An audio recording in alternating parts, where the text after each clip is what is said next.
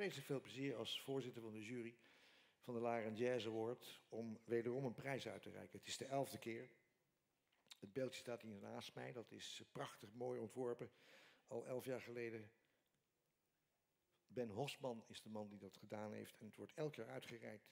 En ook deze keer hebben we weer een, een zogenaamde alumnus, heet dat eigenlijk. Iemand die zo verschrikkelijk vlekkeloos speelt, soleert en in allerlei groepen functioneert.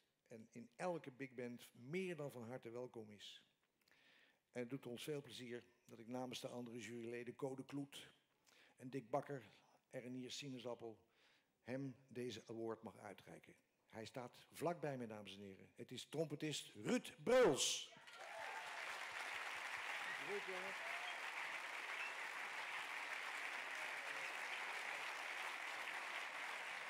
Ruud. Uh, Ruud krijgt, ja wat krijgt hij? Ik heb het al gezegd, het prachtige mooie beeldje van Ben Hosman. Het is overigens een alt-saxofoon. Je mag hem omsmelten en tot trompet verbuigen, heeft hij gezegd. Maar ik zou het niet doen. Het is echt brons. Charlie Parker is met ons, toch? Ja, ja, Charlie Parker is altijd met ons. Ja, hij leeft nog. Hè. Bird lives, zeggen ze altijd. En, en verder weet je dat de jaarlijkse prijs, uh, het bedrag, ja, het is gewoon het jaar 2013. Dus je krijgt ook nog een envelop met 2013 euro's. Ja. En hier komt hem aangeven, ja. En tenslotte, naast dit prachtige mooie beeldje en deze prachtige mooie prijs, wat ga je ermee doen? Vakantie. Vak oh, rondje niet alleen voor de kerst, maar ook voor de zaal. Ja, dat is een aardig idee. Doet hij niet, kan ik u vertellen.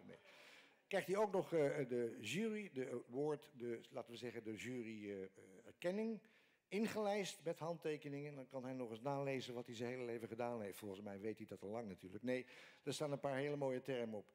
Van harte, Ruud. Dankjewel, Kees. Je staat in de galerij der groten, dat weet je. Wou je nog iets zeggen? Of, uh... Ja, ja. Dank. Dankjewel.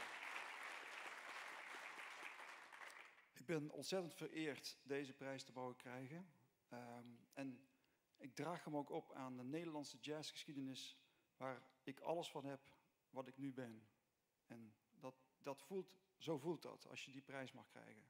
Dus ik ben hartstikke trots en vereerd. Dank u wel.